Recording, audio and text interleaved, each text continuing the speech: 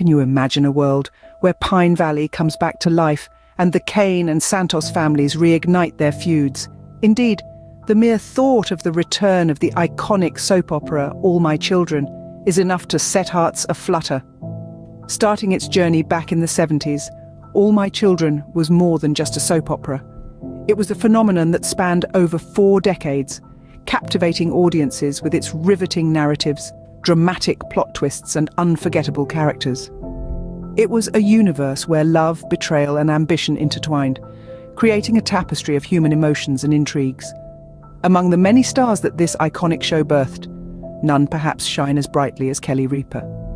Known for her portrayal of the fiery Hayley Vaughan, Ripa's journey with All My Children was not just professional but deeply personal.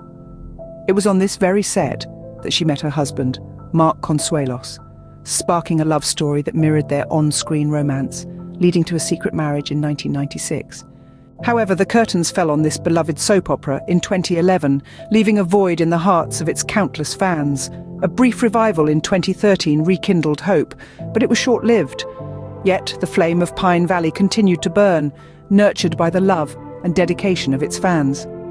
In 2020, whispers of a potential reboot, titled Pine Valley, began to circulate. The news that Kelly Ripa and Mark Consuelos were shepherding the project only added fuel to the fervour. This revival was to follow a young reporter, unravelling Pine Valley's dark history and getting entangled in the long-standing feud between the Kane and Santos families. Yet, as the year turned, the updates on the reboot have been scant. Kelly Ripa confirmed that the project is still in the queue, but without a definitive timeline. The anticipation and excitement among fans are palpable, but the wait continues. The question remains, where can fans relive the magic of the original series? With ABC holding the rights and not releasing the series for streaming, fans have taken matters into their own hands.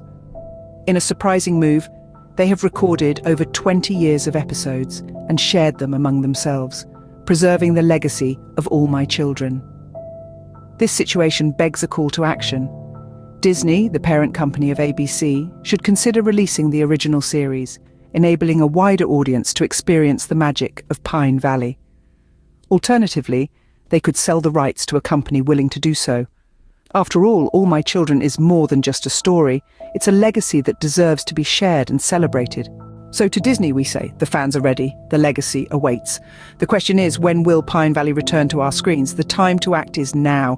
If you like this video, and want to see Pine Valley come to your TV screen, we need to be vocal, so share this video in all your soap opera and social media groups. Thanks for watching. And remember, All My Children is more than a story, it's a legacy.